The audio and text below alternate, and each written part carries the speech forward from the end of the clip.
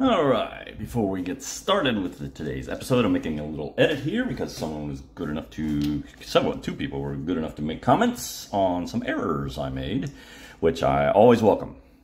You know, I like doing this, I like sharing this, but I also like, you know, to be beneficial if you're going to spend your time watching this stuff, that I get, that we get the rules right so you're not, uh, you know, people aren't confused. So yes, all corrections are welcome and you know, you know, you learn by you learn by falling. okay, yeah, it'll inculcate the rules. So the first one was that I oh well, that was just an error on my part. Is um apparently I debated um. Uh, I, I, did a debate with Stalin, and then when I rolled around to his turn, he should have passed. That's what the bot directs you to do. Every time you do a debate, the next turn you're going to pass it each time.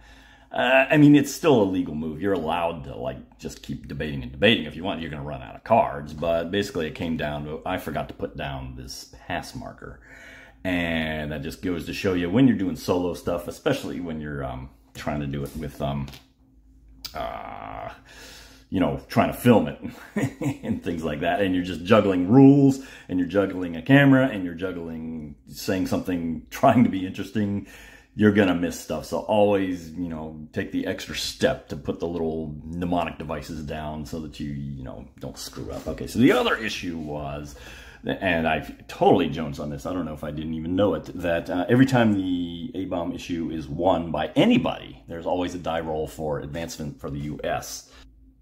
And so we can go ahead and do that right now, and a 4 to 6 advances it. It does, and, because, and um, well, because Stalin won it, he would have gone from here to here. And the other issue is whenever, oh, two, uh, other issue is um, whenever a head of state advances an issue, only another head of state can debate him. Okay, so uh, I was thinking, I didn't actually do that, but I was thinking about doing that, and someone pointed that out when I was going over it in my head. And the final issue is that when Stalin debates or advances the, um, oh, wait a minute, let me see here. Yeah, when Stalin advances the A-bomb issue, no one can debate him. He's, he's, uh, it's an auto win for him. Okay, so that is everything that, uh, and thanks for those corrections. And now we will get on with the episode. All right, Churchill, turn three, war phase. I don't feel like setting it up. All right. So, oh, that cat. I'm gonna thump her.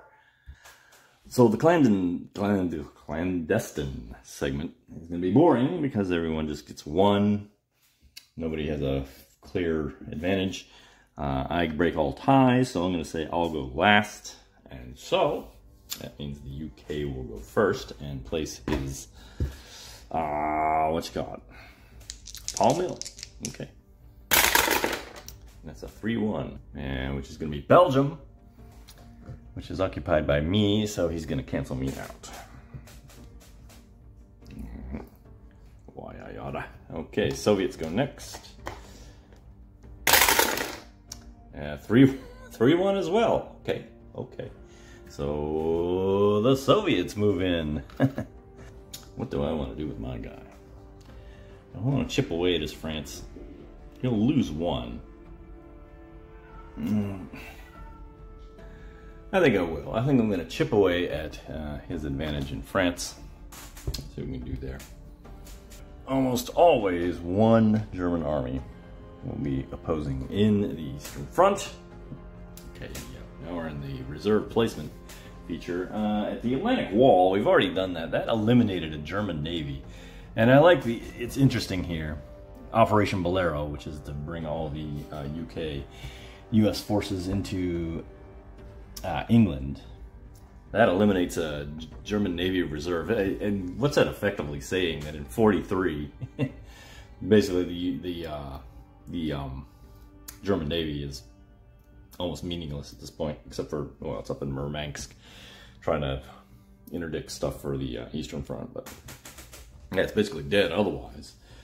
And uh, sorry, Atlantic Chase fans. okay. Now we have what's called the Eastern Horde, and once again, four German reserves are going in here, and that is going to turn that into a die roll. And that front may not advance yet again. Then there's Atlantic Wall, which puts one here even though there's no threat.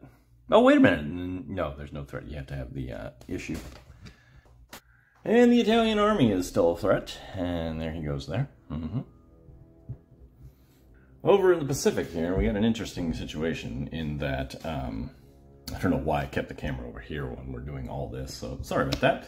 Um, two are always going to go here when he moved here, so that's something to keep in mind. That's going to tie up two uh, Japanese reserves for quite a while. That uh, really helps the United States. I don't think the U.S., the uh, Soviets meant to do that, but that's okay. And now the Japanese will place a navy if they roll a one or a two, I believe. Yes, one or two. They do. They roll a two. Oh, man. Uh, there's a choice. No, wait a minute. So this one is going to come here, and that stinks because that is going to reduce my navy by two. That means that front is not going to be able to advance. Ugh. Stymied. So we got two instead of three here. However, if I roll one to four, that's to eliminate a navy. Four. Is that, am I reading that correct? Yes, one to four. Japanese reserve is eliminated. This is removed from the game. He still has one more, which will give us trouble. And we have two uh, armies left to place, and these are placed randomly. Uh, get over here. There we go. Now we can see the whole theater, can't we? Okay. But you can't see the die roll. Okay, first one two, puts it here. We don't care because that one's not going to go anyway. And ones. Both of them are going to be the, okay, so that's going to keep our, uh, our uh, where we actually have a chance clear. Okay. Let us begin in Europe with the advancements of the fronts. I can tell you we haven't done the second front yet, so that is not going to move. Let's do the Mediterranean here. Let's see what we got. Okay, so that's the, that army is going to reduce this to five, but that is still very strong. Yeah, so when you add the base value of this front at two, and then you uh, multiply five times two, you have 10 for a total of 12 front strength.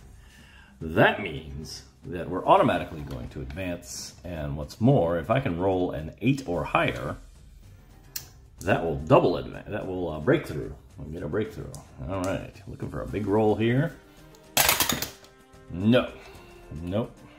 But we have come into southern Italy, which means Italian surrender. And now the Italian reserve is out of the game. And this, of course, leaves the Eastern Front, which I believe is going to be a die roll because there's five of these, so I need to remove five offensive support from this pile here. One, two, three, four, five, leaving two. Okay. That means with a base strength of two, and then uh, times uh, four, so it's going to be a base of six. So we need to roll a six or less to advance this front. This is a big roll, I think. Nine. Oh boy. the Germans hold. And wow. Yep. Yep. Looking for that second front, aren't we? All right. So that concludes Europe. Now move to the specific, the, Pacific. Okay. We know nothing's going to happen there because we have not declared war. Uh, Russians have not declared war on Japan. Uh, the CBI could technically move if it rolls a 2 or less.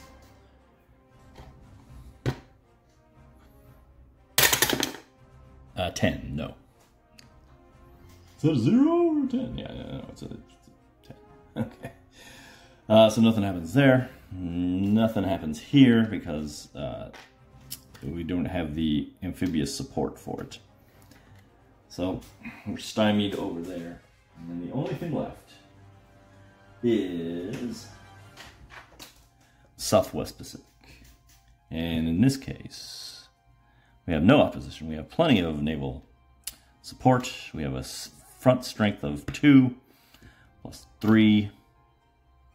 Uh, wait a minute. Uh, 2, 3, 4, 5, 6, 7, 8.